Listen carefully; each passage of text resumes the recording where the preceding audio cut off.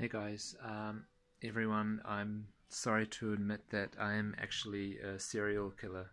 Uh, yeah, yeah, yeah,